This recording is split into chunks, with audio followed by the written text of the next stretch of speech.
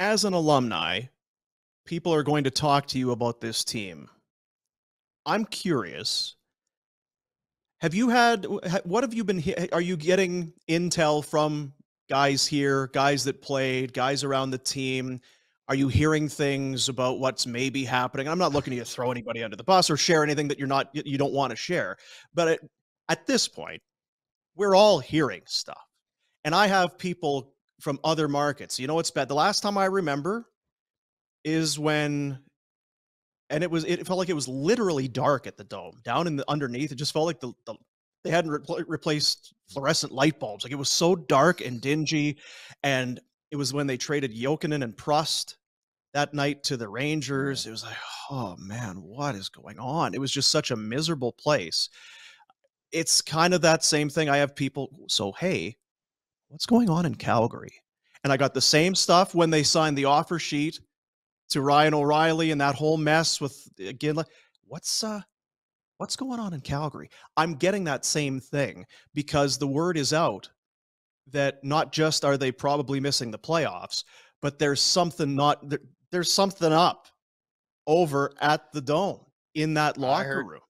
Yeah, I heard that a lot earlier the scary part for me now is that I don't hear from. I mean, it's two things. I heard there was more issues than maybe we were led to believe early in the year, and so that's that was concerning, and it's kind of played out and proven itself that these people were onto something. But now the concern not, is the silence that I hear from people that were fans of the team. They don't give a shit. They're not they're not. Usually, I'd get, "Hey, have you watched? What, what do you think?" It's it's crickets. It's crickets. So clearly, people are starting to go to get fed up with it because it does feel the same, and that's that's not a good thing. For for anyone involved, we complain and take shots and this and that. Well, we have to, and we try to be really fair.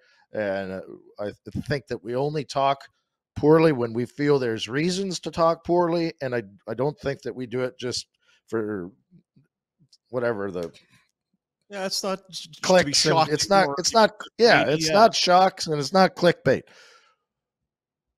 But i think there uh, the the when the team is this or when the fan base is this quiet about what's going on that's that's the scariest because it does no one any good for this team to be ignored.